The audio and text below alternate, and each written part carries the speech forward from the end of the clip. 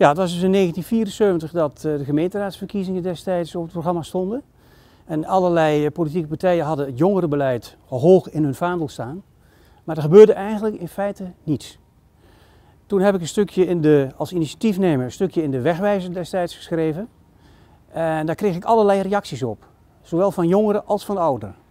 En dat was eigenlijk de geboorte van het jeugdcentrum. Want toen kwamen er dus een aantal jongeren bij mij aan de deur. En die dus zeiden van nou laten we er zelf initiatief nemen. Laten we zelf iets doen. Laten we zelf een uh, jeugdcentrum oprichten. Nou, in die tijd was er dus eigenlijk voor uh, jongeren tussen de 12 en grofweg 24 jaar was eigenlijk helemaal niets te doen hier in Serenberg. Ja, was destijds nog een, een, discotheek, maar dat was het dan ook. En de behoefte aan uitgaan, aan, aan, een dansgelegenheid, die was er heel duidelijk. Dat merkten we ook door contacten die we hadden met, met allerlei mensen in de, in de samenleving, zeg maar. Dus dat was dan de reden om een jeugdcentrum op te gaan richten. Uh, de oprichtingsvergadering hebben we toen gepland met een aantal mensen. Ik noem er een paar, niet iedereen uh, kan ik noemen, maar bijvoorbeeld Sjaak Burmer, Hans Bisseling, Willy Stijn, zijn nu nog bekende namen in de Bergse gemeenschap. Die sloten zich daarbij aan. De heer Hekkelman weet ik nog, uh, Netje Bernse Kniest vanuit de gemeenteraad. We hadden een oprichtingsvergadering bij de Sportvriend. En vanaf dat moment, uh, najaar 74, was het jeugdcentrum geboren.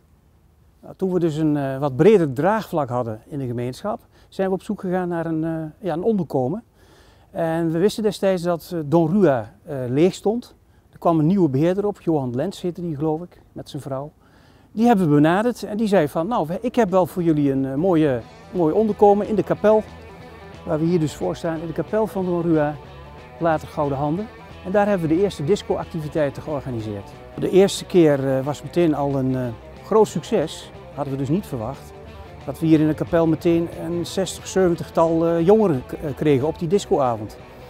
Dus daar kwamen dan ook een aantal leden uit voort. Dus begonnen ze met 10, 20, 30. En dat groeide eigenlijk uit in de loop der jaren tot, tot boven de 100 leden. De activiteiten werden ook verder ontplooid. Het bleef niet alleen bij disco. Er kwamen knutselavonden, er kwamen uh, popconcerten die we georganiseerd hebben, destijds in de nieuwe sporthal. Dat was nog een heel verhaal met uh, meneer Van der Vossen, dat we dat voor het eerst gingen doen. Maar het mocht en het werd ook weer een succes en zo zich, regen zich die activiteiten uh, aan elkaar, zeg maar. Hier staan we dus voor de oude openbare school, de tegenwoordige bibliotheek. Hier vonden eigenlijk van het jeugdcentrum de meeste activiteiten plaats. Onder andere knutselavonden. Natuurlijk weer de disco op zaterdagavond, zondagmiddag, elke week. Voorbereidingen voor de carnavalsoptocht waar we aan meededen, gebeurde allemaal hier achter in dit gebouw. Eind jaren 70 toen uh, heeft uh, het jeugdcentrum de naam aangenomen van Kolping. Kolping Jeugdcentrum, dat kwam onder andere door de invloeden van uh, John Broom, destijds jeugdpastor in de Emmausparochie. En die introduceerde ook uitwisselingen met bijvoorbeeld andere jongere groepen in Zuidloon en in Julianendorp.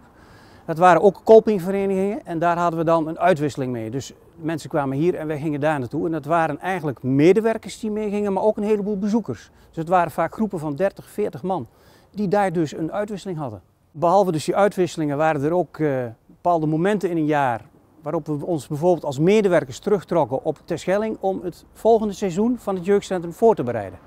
Dat gebeurde niet alleen op Terschelling, maar we zijn zelfs met een groep een keer naar Innsbruck geweest waar we een of andere conferentie van Kolping bijgewoond hebben. Met uh, 600 jaar stad uh, werden wij gevraagd, ook van, uh, vanuit de zwemclub, omdat door ook een aantal activiteiten ontplooiden met, met het trainen geven. zijn we benaderd of we niet meer konden helpen met, met de jeugdvakantieweek hier kort bij, bij het kasteel. En daar zijn we dus begonnen met een aantal jonge gasten erbij. de oude club zat nog en wij mochten dus zo langzamerhand in de rollen om te kijken hoe dat nou in zijn werk ging, de hele vakantiedagen. En dan begonnen we dus maandags met het opbouwen van, uh, van die koepel. Uh, al het hout werd erbij geregeld. Dat konden we dan gelukkig regelen bij Wim Bosman toen de tijd. En dat ging dan onder het mom van een kratje bier en een, en een flesje whisky. Hadden we het hout hadden we geregeld. En we konden dan gebruik maken van een van de wagens van Wim Bosman. Toen zijn we vanaf het kasteel zijn later bij uh, het Rodingsveen op het veldje begonnen. Toen waren er nog, gelukkig nog geen huizen gebouwd. Vrijdags dan, uh, werden alle hutten werden afgebroken. Uh, al het hout werd op een stapel gegooid. En dan hadden we met een kratje bier konden we de brandweer weer laten komen. En die staken dan de hele houtstapel in de brand. En dan was het met alle jeugd om het vuur heer een soort vreugdedansje. En dan natuurlijk als afsluiting het grote waterballet. Ja, waar de brandweer toen de tijd gelukkig altijd voor klaar kon staan. tegenwoordig is dat natuurlijk niet meer zo. Maar dat was wel mooi wat er toen allemaal kon. Nou, zo midden jaren 80 was de behoefte aan een jeugdcentrum duidelijk minder. En dat zag je landelijk ook, die tendens. Dat je die jeugdcentra zag je heel langzamerhand verdwijnen. Hè. Er kwamen andere dingen voor in de plaats. Dus ook het jeugdcentrum Berg kabbelde zo'n beetje voort tot eind 85. En toen is er een, op een gegeven moment een streep onder gezet, omdat die behoefte eigenlijk veel minder was. Waarom hebben we de reunie juist vandaag? Nou, eigenlijk was vorig jaar, was het 40 jaar geleden dat het jeugdcentrum is opgericht. Toen is er door uh, bepaalde omstandigheden is het er niet van gekomen om de zaak te organiseren. Uh, dit jaar hebben we een Facebook-site opgestart, een archiefsite van het jeugdcentrum. En daar kregen we ontzettend veel reacties op van, nou, reunie zien we best zitten. Wanneer gaat dat gebeuren? Ja, en toen hebben een aantal mensen, ook nog uit die tijd, waar ik nu nog contact mee heb, gezegd van, nou oké, dan gaan we nu, gaan we ervoor, nu gaan we die reunie organiseren in Serenberg. Hoi. Hoi, alsjeblieft wel. Veel plezier. Is dat leuk hè? Ja, leuk hè? Ik zal er van eigenlijk niet opgegeven. Baby, baby. Geld terug. Maar hij moet kop op. Ja, maar je bent niet op, je bent niet op alleen brief. Oh ja, dat is voor, dat is voor. Ja. Ja, ik zit hier al zo mooi. Is dat Frank van Wessel? Nee joh, die moet je aan. Ja, maar hij heeft een stukje van hoor, dat wordt van wel. Ja, ja, leuk. Ja, Oh ja. Heel veel plezier. Ja. En als je dan mee deze twee dames die, uh, zijn van ver gekomen om hier naar de reunie te komen van het jeugdcentrum. Vertel eens even wie jullie zijn en uh, waarom jullie hier zijn gekomen. Ik ben Esther Bos, meisjesnaam Bos. Uh, woon nu in Schiedam, 30 jaar in uh, Serenberg gewoon. Praat ook nog steeds plat. Ik kan heel goed schakelen. Van Rotterdams naar plat Serenbergs. En ja, ze zijn hier naartoe gekomen als jong meisje. Kwam ik ook in het jeugdcentrum. Mijn herinnering is, punt 1, ik ben Astrid Bos. Dus hetzelfde als de dame naast me. zondagmiddag hing ik volgens mij uh, in het jeugdcentrum rond en luisteren naar de muziek wie ik geweldig vond. Totdat ik de leeftijd had en naar een discotheek toe mocht. Dus dat was mijn herinnering aan het jeugdcentrum. En we woonden aan de overkant boven de Windsorbar. Dus dat was makkelijk. Oversteken en we waren in het jeugdcentrum. Zijn jullie erachter gekomen dat hier de reunie was?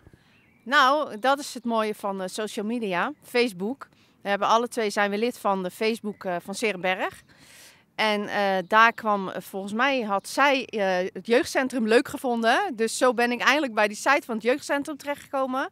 En toen zagen we dat er een reunie kwam. En ja, toen zei zij, zullen we gaan? Want Serenberg, ik bedoel, daar liggen je roots. Dus ja, het is altijd leuk om weer terug te gaan. En zo, zo ja, zo zijn we hier nu terechtgekomen. Het is inmiddels uh, 30 jaar geleden dat uh, het jeugdcentrum is uh, opgehouden te bestaan. En jullie zijn nu weer hier naar Sierenberg gekomen op de reunie. En heb je nog veel mensen gezien die je nog kent?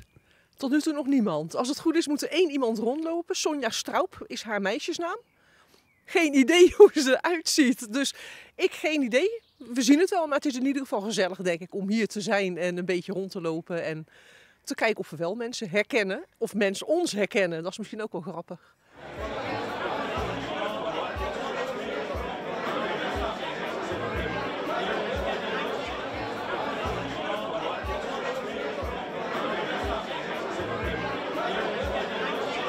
Sjaak, welke muziek ga je vanavond draaien? Nou, uh, om het even kort te zeggen, uh, waarschijnlijk zouden we nu zeggen van we gaan uh, luisteren naar Guilty Pleasures. Dat wil dus zeggen, hè, ik hoop dat de mensen straks het idee hebben van hebben we daar vroeger naar geluisterd. Dus dan denk je aan de Rubettes, Catapult, David Ansel Collins, de Rolling Stones uiteraard zal er ook bij zitten, Status Quo, al dat soort dingen die ja, eind jaren 70, begin jaren 80 helemaal in waren. Dat is de bedoeling. Sjaak, zijn er verder nog activiteiten op deze avond? Nou, via Facebook is er een, een oproep gedaan uh, aan de mensen die hier zijn om hun favoriete top 3 uit, uh, uit die jaren door te geven. Daar hebben wij een, uh, ook gezien de tijd een, een top 12 samengesteld. Die zal straks nog gedraaid worden. Verder is het zo, ja, wat ik zeg, een blijk van herkenning bij heel veel. En we hebben achterin een, een mooie fotolijst staan waar mensen nog zichzelf kunnen laten fotograferen. En misschien thuis wel eens even vergelijken. Toen zag ik er zo uit. En nu, 30, 35 jaar later of 40 jaar later, zie ik er zo uit. En uh, we proberen te eindigen met een, uh, ja, met een ouderwetse disco-show. We gaan even starten met de Shaki Spada Show.